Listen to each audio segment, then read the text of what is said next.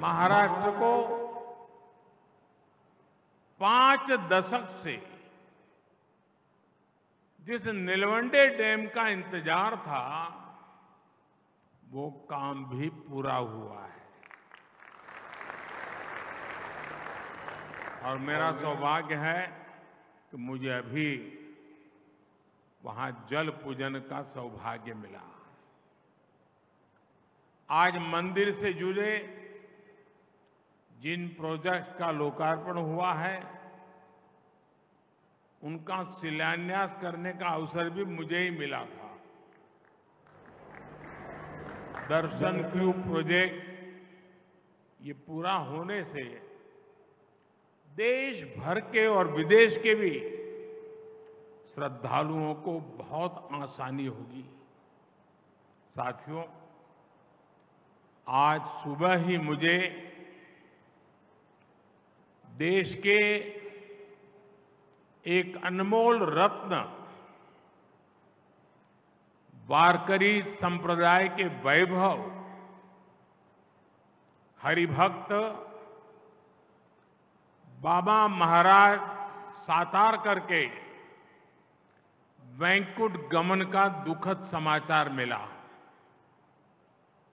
उन्होंने कीर्तन प्रवचन के माध्यम से जो समाज जागरण का काम किया, वो आने वाली पीढ़ियों को सदियों तक प्रेरणा देगा। उनका बात करने का सरल तरीका, उनकी प्रेम पूर्वक वाणी, उनकी शैली लोगों का मन मोह लेती थी। उनकी वाणी में, जय जय राम कृष्ण हरि, भजन का अद्भुत ही प्रभाव हमने देखा। मैं बाबा महाराज सातारकर जी को भावभीनी श्रद्धांजलि अर्पण करता हूँ। मेरे परिवारजनों देश को गरीबी से मुक्ति मिले। गरीब से गरीब परिवार को आगे बढ़ने का अवसर मिले, यही सच्चा सामाजिक न्याय है। हमारी सरकार सबका साथ सबका विकास के मंत्र पर चलती है। हमारी डबल इंजन सरकार की सर्वोच्च प्राथमिकता गरीब कल्याण है। आज जब देश की अर्थव्यवस्था बढ़ रही है तो गरीब कल्याण के लिए सरकार का बजट भी बढ़ रहा है। आज महाराष्ट्र में एक करोड़ दस लाख आयुष्मान कार्ड दिए जा रहे हैं। ऐसे सभी कार्ड धारकों को पाँच लाख रुपए के मुफ़्त इलाज की गारंटी है। आयुष्मान भारत योजना के तहत गरीबों को मुफ़्त इलाज देने के देश ने सत्तर हज़ार करोड़ रुपए खर्च किए हैं। गरीबों को मुफ़्त राशन की योजना पर भी देश चार लाख करोड़ रुपए से ज़्यादा खर्च कर चुका है। गरीबों के घर बनाने के लिए भी सरकार ने चार लाख करोड़ रुपए खर्च किए हैं। ये भी 2014 से पहले के 10 वर्षों की तुलना में करीब छह गुना अधिक है। हर घर जल पहुँचाने के लिए भी अब तक करीब दो लाख करोड़ रुपए खर्च किए जा चुके हैं। पीएम स्वनिधि योजना के ज़रिए रेडी ठेले, फुटपाथ पर दुकान लगाने वाले साथियों को हज़ारों रुपये की मदद मिल रही है। अभी सरकार ने एक और नई योजना शुरू की है। पीएम विश्वकर्मा, इससे सुथार, सुनार, कुम्हार, मूर्तिकार ऐसे लाखों परिवारों को पहली बार सरकार से मदद सुनिश्चित हुई है। इस योजना पर भी तेरह हज़ार करोड़ रुपए से ज़्यादा खर्च किए जा रहे हैं। अभी मैं सारे इतने आंकड़े बता रहा हूँ, लाखों करोड़ों के आंकड़े बता रहा हूँ। 2014 के पहले भी आप आंकड़े सुनते थे, लेकिन वो आंकड़े क्या होते थे? इतने लाख का भ्रष्टाचार, इतने करोड़ का भ्रष्टाचार, इतने लाख करोड़ का गफला। अब क्या हो रहा है? इतने लाख करोड़ इस काम के लिए खर्च किए गए। इतने लाख करोड़ इस काम के लिए मेरे परिवारजनों, आज के कार्यक्रम में बड़ी संख्या में हमारे शेतकरी साथी भी मौजूद हैं। मैं सबसे पहले उन बालिकाओं को बहुत बहुत अभिनंदन करता हूँ, जिन्होंने अभी हमारे सामने हमारे शेतकरी समाज को संदेश देने के लिए धरती कहे पुकार का एक बहुत अच्छी नाटिका प्रस्तुत की। आप ज़रूर उसमें से संदेश लेकर के जाएँगे। मैं उन सभी बेटियों को बहुत बहुत बधाई देता हूँ।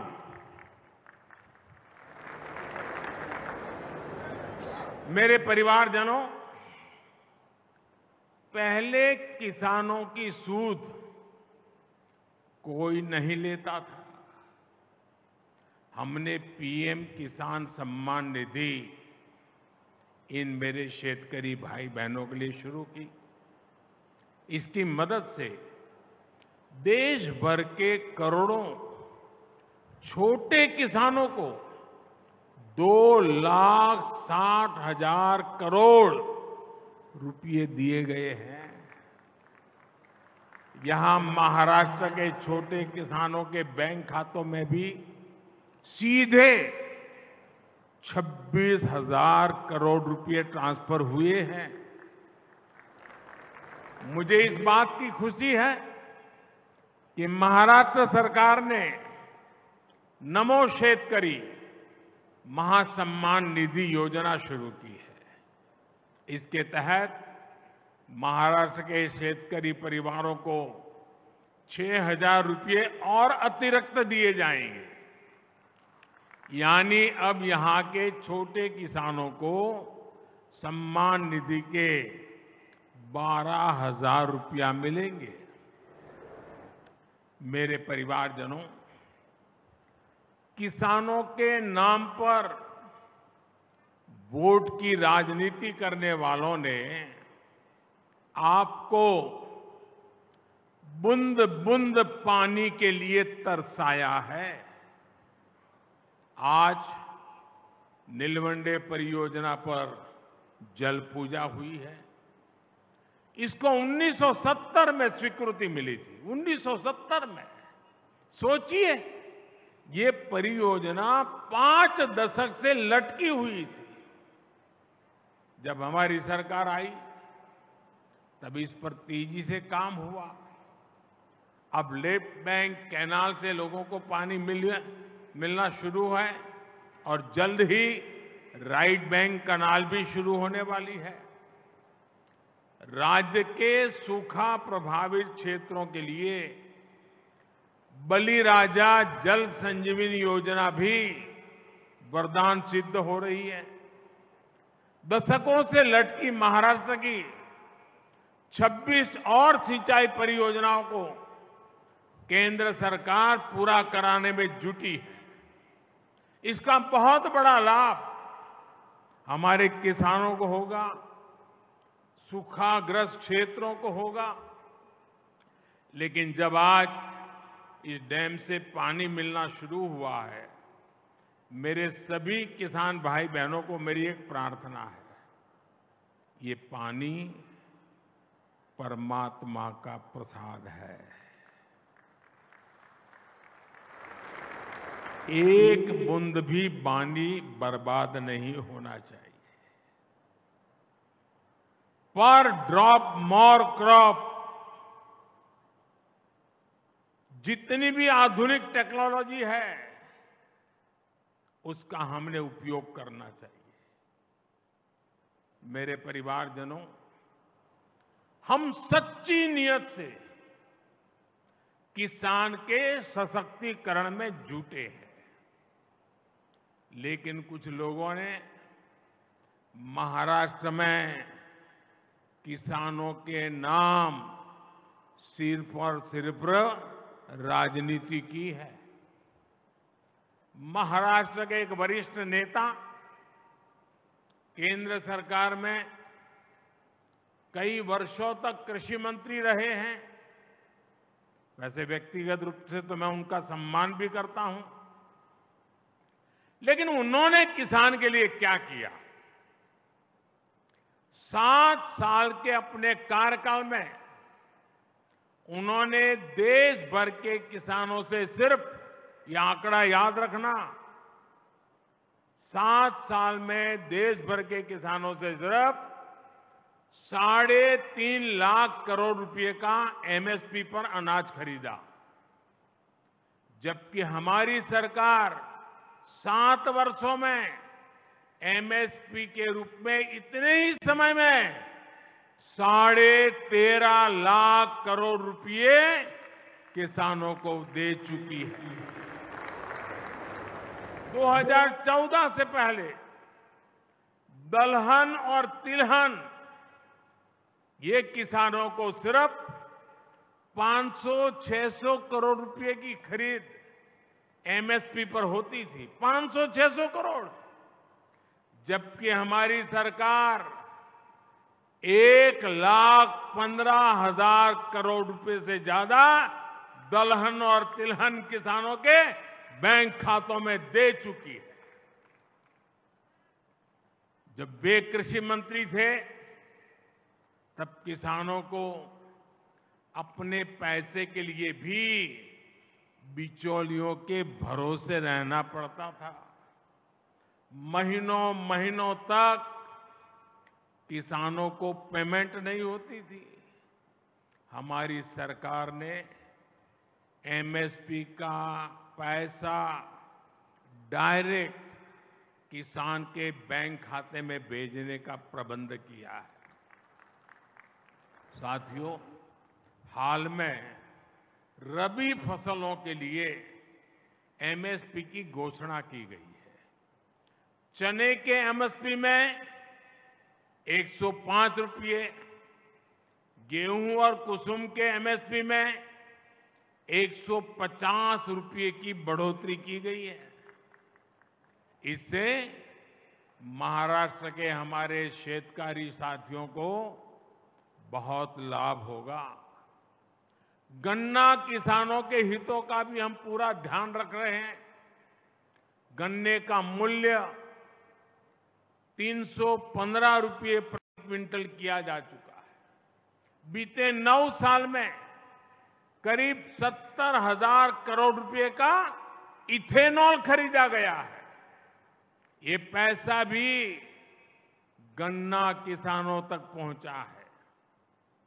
गन्ना किसानों को समय पर भुगतान हो, इसके लिए चीनी मिलों, सहकारी समितियों के लिए हज़ारों करोड़ रुपए की मदद दी गई है। मेरे परिवारजनों, हमारी सरकार सहकारिता आंदोलन को सशक्त करने का काम भी कर रही है। देश भर में दो लाख से अधिक सहकारी समितियाँ बनाई जा रही हैं।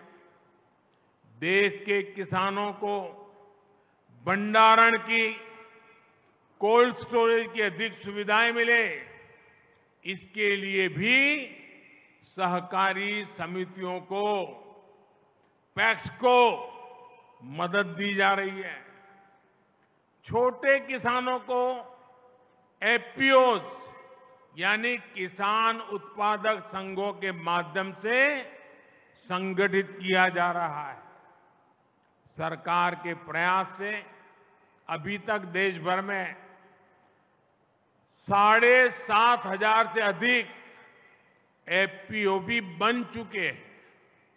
मेरे परिवारजनों, महाराष्ट्र अपार सामर्थ्य और अनगिनित संभावनाओं का केंद्र रहा है। जितना तेज महाराष्ट्र का विकास होगा उतनी ही तेज़ी से भारत विकसित होगा। कुछ महीनों पहले मुझे मुंबई और शिरडी को कनेक्ट करने वाली वंदे भारत ट्रेन को हरी झंडी दिखाने का अवसर मिला था। महाराष्ट्र में रेलवे के विस्तार का ये सिलसिला लगातार जारी है। जलगांव से भूसावल के बीच तीसरी और चौथी रेल लाइन शुरू होने, मुंबई हावड़ा रेल रूट पर आवाजाही आसान होगी। इसी तरह सोलापुर से बोरगांव तक फोर लेन रोड के निर्माण से पूरे कोंकण क्षेत्र की कनेक्टिविटी बेहतर होगी। इससे उद्योगों को तो फ़ायदा होगा ही। गन्ना, अंगूर और हल्दी किसानों को भी लाभ होगा। ये कनेक्टिविटी सिर्फ़ ट्रांसपोर्ट का नहीं, बल्कि प्रगति और सामाजिक विकास का भी नया रास्ता बनाएगी। एक बार फिर आप इतनी बड़ी तादाद में आशीर्वाद देने आए, मैं हृदय से आप सबका बहुत बहुत आभार व्यक्त करता हूँ। और आओ, हम मिलकर के 2047 2047 जब आज़ादी के 100 साल होंगे, दुनिया में भारत का नाम विकसित भारत के रूप में होगा। ये संकल्प लेकर के चले। बहुत बहुत धन्यवाद।